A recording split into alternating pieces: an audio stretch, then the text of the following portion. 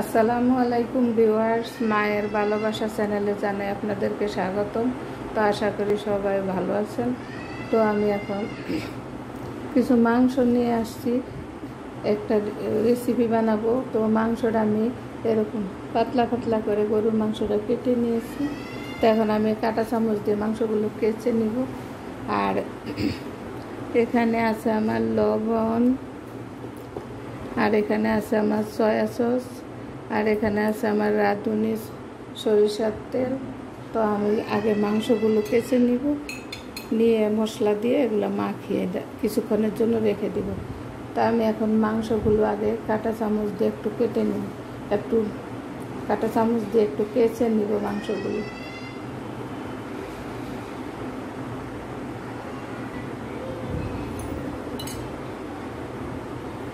তো মাংসগুলো আমি এরকম পাতলা করে পিস করে নিয়েছি।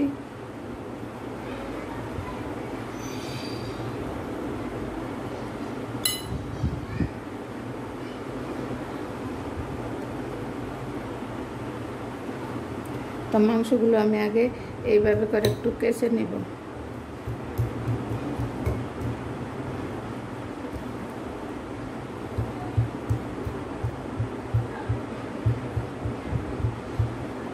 যাতে করে একটু মশলাটা ঢুকে, সেজন্য আমি মাংসটা আগে এরকম করে কেচে নিব।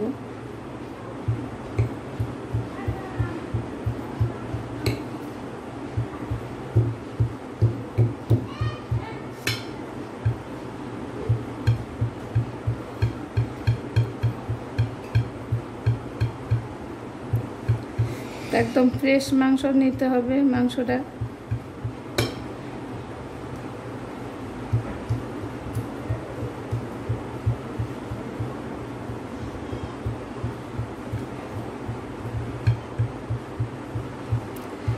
এইভাবে করে আমি সবগুলো মাংস কেচে নেব।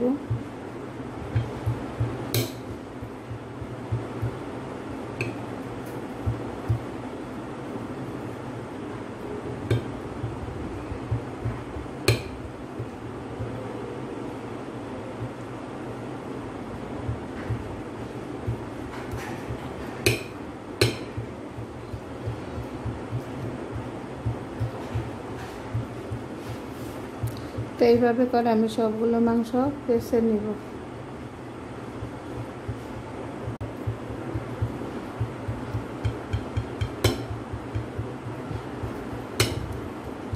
তো সবগুলো মাংস আমার কেঁচা হয়ে গেছে।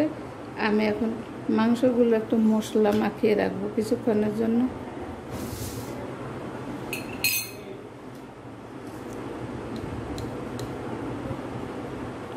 তো আমি একটু স্বাদ মতো লবণ দিব।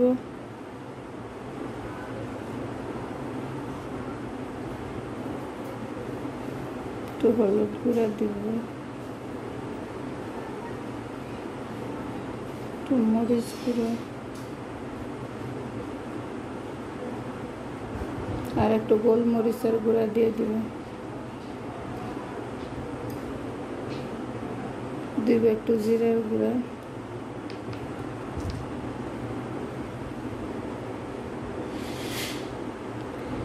একটু রসুন বাটা, এক চামচ। আদা বাটা। তারপরে একটু আদা বাটা, রসুন বাটা, একটু জিরা, তারপরে একটু গোলমরিচের গুঁড়া আর একটু সয়া সস, সরিষার তেল দিয়ে মাংসটা একটু মাখিয়ে রাখব। কিছুক্ষণের জন্য।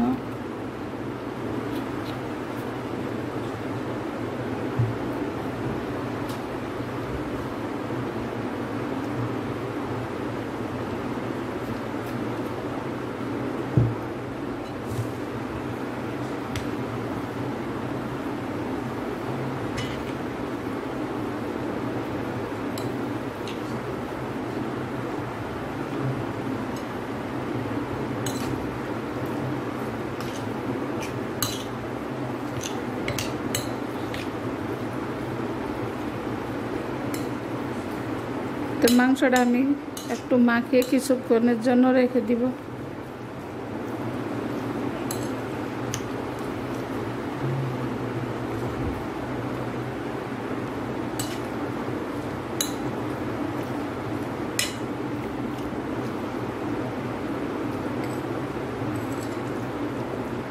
তো মাংসটা আমি একটু ভালো করে মাখিয়ে নিয়েছি, তো আমি এখন কিছুক্ষণের জন্য রেখে দিব।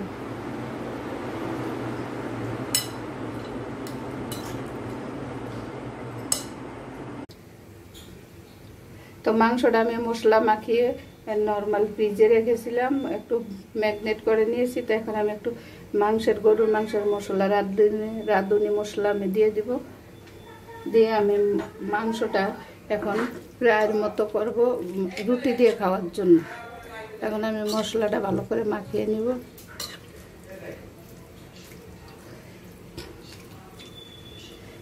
রাঁধুনি মশলাটা আমি মাখিয়ে নিয়েছি। এখন আমি চুলায় একটা পাইপ্যানে তেল বসিয়ে দিব।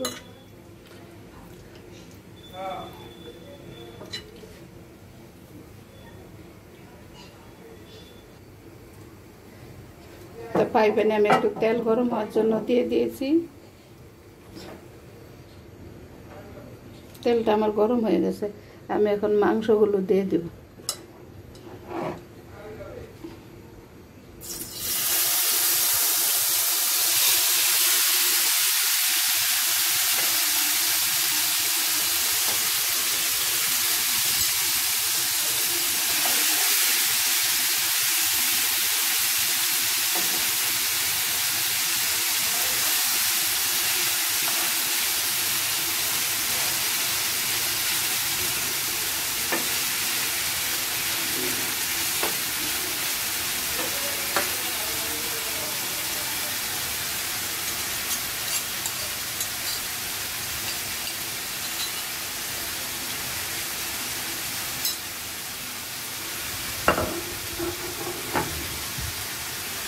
তো মাংসগুলোর মধ্যে আমি কোনো পানি দিব না।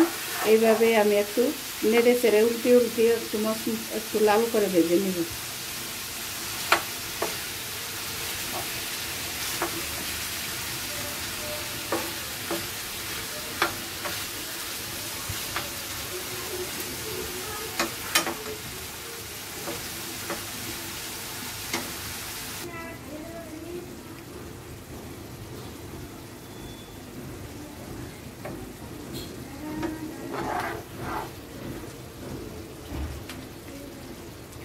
মাংসটা আমি একটু নেড়ে দিয়েছি।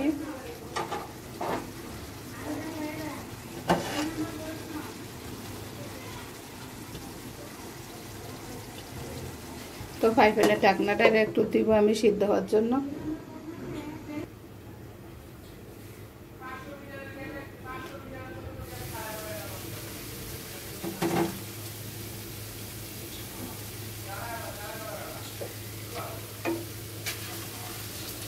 তো মাংসটা আমি একটু উল্টে দিব।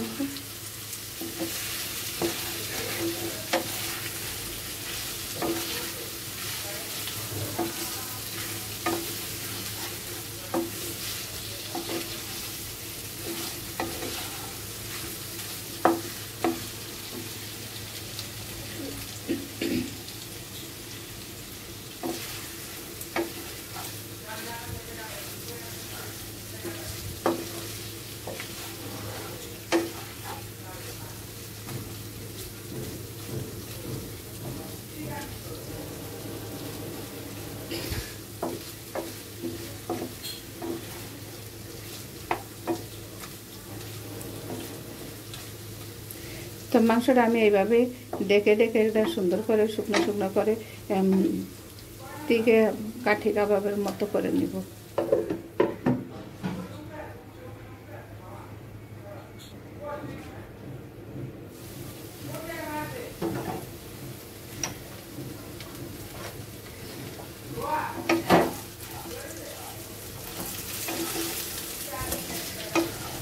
মাংসগুলো আমি এইভাবে আস্তে আস্তে করে করে উল্টিয়ে দিব কাছাকাছি থাকব।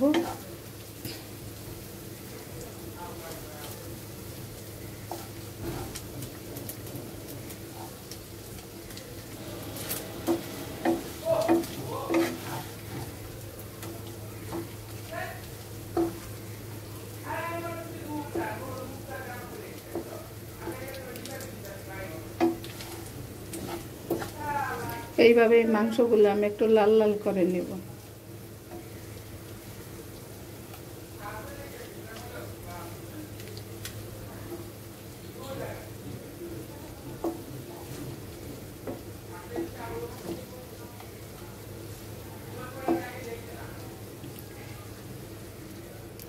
আমি আবার একটু ডেকে দিব, যাতে করে মাংসটা একটু সুন্দরভাবে সিদ্ধ হয়।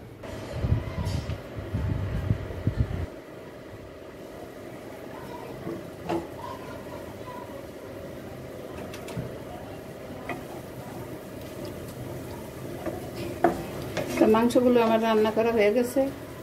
মাংসগুলো আমি এইভাবে করি পানি ছাড়া একদম লাল করে ভেজে নিয়েছি। তা আমার রান্না করা হয়ে গেছে আমি পরিবেশন করব।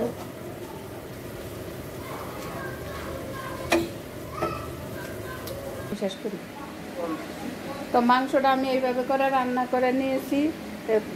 টিকে আর মতো করে পানি ছাড়া। তো আর সাথে আছে আমার শসা আর পেঁয়াজ। তো এই মাংসটা বাদ দিয়েও খাওয়া যায়, আবার রুটি দিয়েও খাওয়া যায়। যে আপনারা যে যেভাবে খায়, তো আমার এই রেসিপিটি যদি আপনাদের ভালো লাগে, তাহলে আমার চ্যানেলকে লাইক শেয়ার কমেন্টস করতে ভুলবেন না। সাবস্ক্রাইব করে আমাকে এগিয়ে নিয়ে যাবেন। সবাই ভালো থাকবে আমার জন্য দোয়া করবেন। আল্লাহ হাফেজ।